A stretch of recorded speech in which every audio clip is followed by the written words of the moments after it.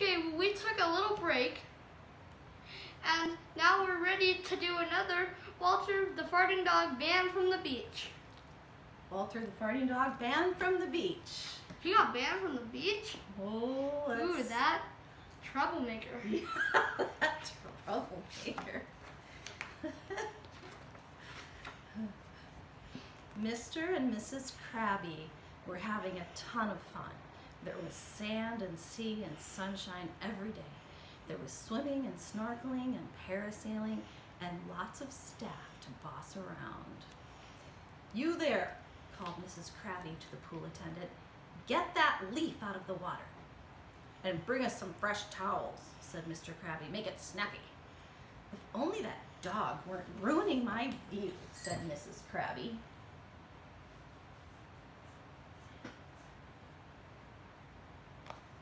There's also other Walter the Farting Dogs that we haven't done other than this one and the other ones. Yep. Like this one on the back. Mm-hmm. Walter the farting dog goes on a cruise. And Walt, yep. trouble at yard sale. Walter the farting dog, trouble at the yard sale. And this one is banned from the beach. The dog that Mrs. Krabby was talking about was Walter. Walter was digging happily in the sand. You never know where an old bone might be hiding. He detected something under the sand and dug more frantically. Treasure, a bone, and it's a big one. He strained to tug it free and let out an enormous fart. The umbrella that was shading Mr. and Mrs. Krabby was blown into the sea. They watched aghast as it was carried away by the undertow. At that moment, Father and Mother arrived with Betty and Billy. Mr. Krabby stomped over to Father. Is this your dog? Yes, admitted Father, that's our Walter. He shouldn't be allowed on the beach, shouted Mr. Krabby. He blew away our umbrella. It couldn't have been Walter, it was probably the sea breeze. The sea breeze doesn't smell like that, said Mrs. Krabby.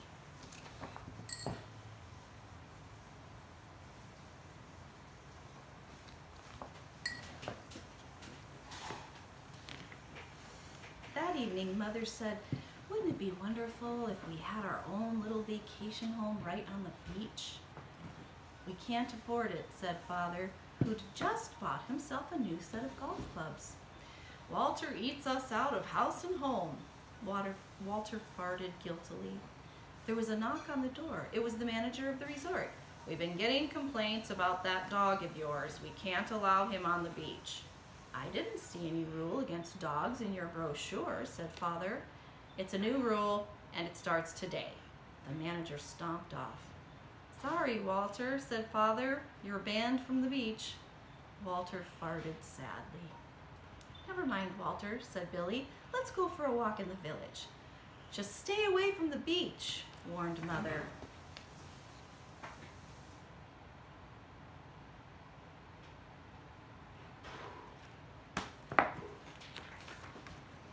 In the quaint little village, lights twinkled in the trees.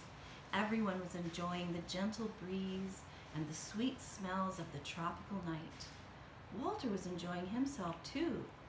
Travel broadens a dog's mind, he thought, farting philosophically. The Krabbies were sitting nearby at a sidewalk cafe, complaining about their key lime pie.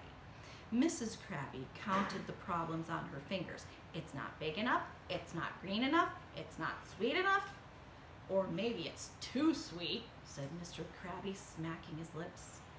A pelican flapped its wings at Walter, and Walter farted in alarm. The power of Walter's fart blew the meringue off Mr. Krabby's pie. It landed in his face and made an awful mess. The Krabbies glared at Walter. That dog is ruining our vacation.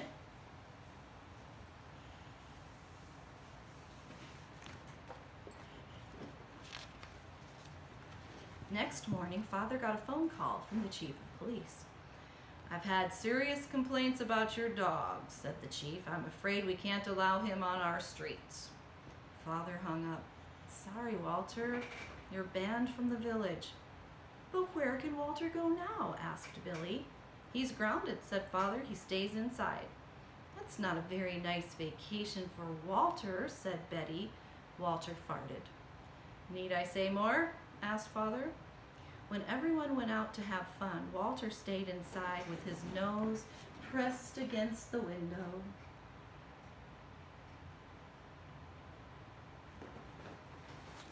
And poor cat also. Ah, poor cat also. But it might not want to go in the water because it's a little scaredy cat. Right. Cats don't often like the water, do they? My cat does. Does it?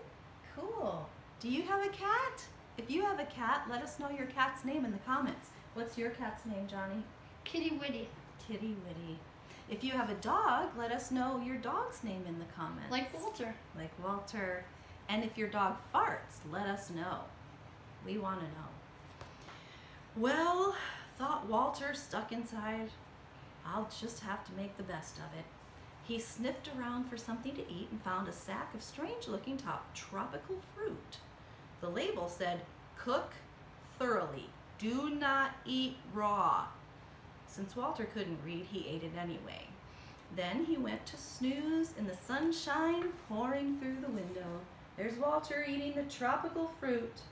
That it must be cooked. It must have to be cooked, but it didn't be cooked. Oh no. exactly. Oh no. Something terrible is gonna happen. Yeah. Keep watching the video to find out. Yeah. You're gonna find out pretty soon here. And please leave a like on my videos and Marie's. Yes. It, it really helps us It does help us. Thank get you. more motivated.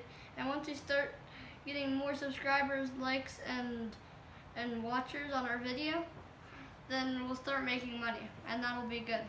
Yeah, that would be great. Yeah. Thank you. And Marie just likes to do it for funness. Yeah, I do. It's fun for me to be with you and read with you. Okay, here we go. We're about to find out what's happening with Walter and his farts. Betty and Billy were building a sandcastle on the beach. Look, said Betty, pointing out to sea. How did that island get there? It wasn't there before. It must have been underwater, said Billy. Now that the tide is out, we can get there. Let's go. They waded through the shallow water to explore the mysterious island.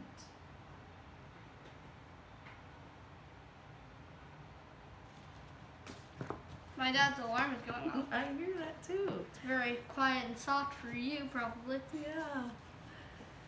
This is the sort of place where you find buried treasure, said Billy, beginning to dig. Suddenly, something shiny glittered in the sunlight. I knew it, yelled Billy, holding up a nickel. We're rich, yelled Betty. Mr. Krabby sat under his new beach umbrella. Those nasty children seem to have found something. The Krabbies waded out to the little island. Let me help you, said Mr. Krabby, pushing Billy aside. Mr. Krabby found a rusty old key and waved it triumphantly. I have a feeling that this will unlock something very important, he said. Sure enough, ten minutes later, he dug up a door and the key fit perfectly. Maybe we'll find a whole vacation house, said Betty.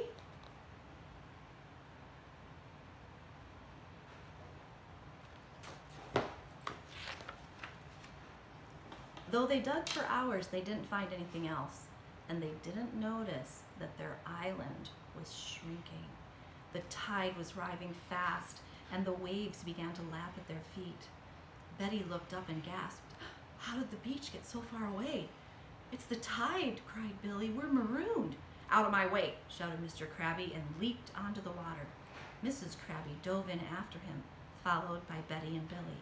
They swam as hard as they could, but the undertow was too strong. The current swirled them around and dumped them back on their shrinking little island. Our only hope is to build a raft, said Mr. Krabby.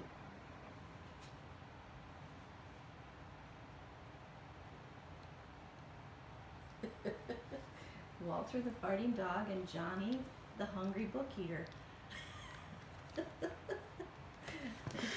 it's supposed to be cooked first. Oh no.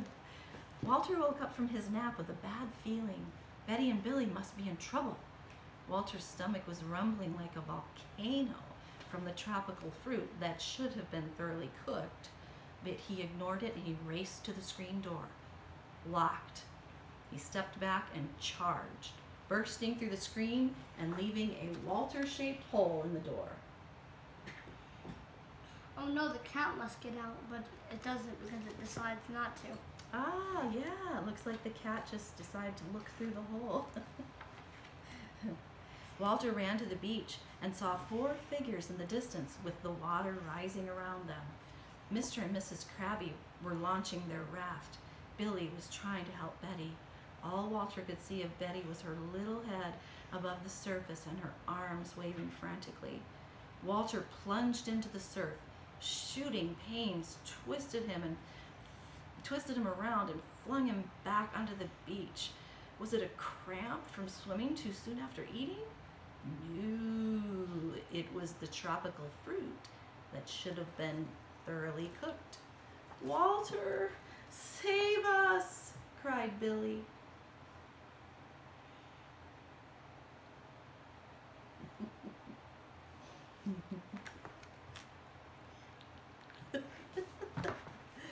Marie's had this book for years.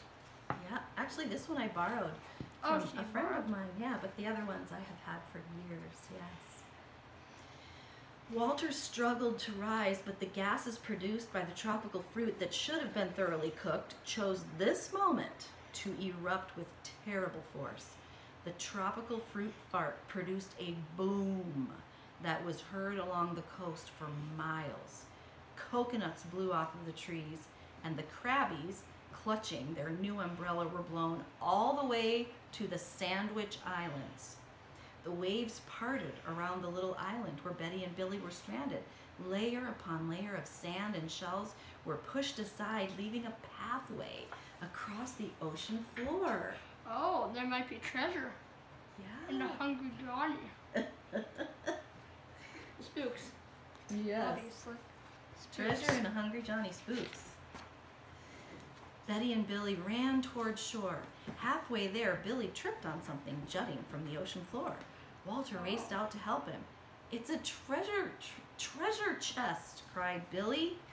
Bones, thought Walter and grabbed a handle in his teeth. Ooh, they might be able to buy the new vacation house now. You think so?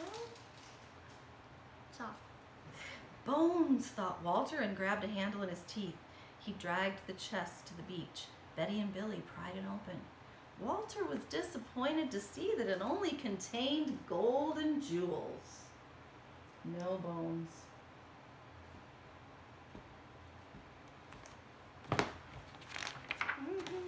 With the money from the treasure, mother and father bought the vacation home of their dreams. You were right. oh. Now they're gonna go scuba diving with Walter the farting dog. yes. There was sunshine every day. There was golf and snorkeling and parasailing on the gentle sea breezes. Experts said it was the most important treasure uncovered in a century. But Betty and Billy disagreed. Walter, they said, you're the greatest treasure of all. There they are with their new beach home. That is a duster, which we will look at later after we finish the book. Okay. And that's it. Then the final page shows the Krabbies working on Sandwich Island. Now they're the staff, and other people might be crabby to them. Thank you, everybody, for joining us for a book or two with you. We hope you enjoyed the Walter the Farting Dog series that we have. There are more Walter the Farting Dog books. You can find them at the library. You can find them at bookstores, and you can look at bookstores online. And sometimes I And the thing to turn off we, our video is this little knob. We just press iOS yeah, and then it's a little Oh. remote control. And when Johnny pushes it in a few minutes, it'll turn off the video. We could all count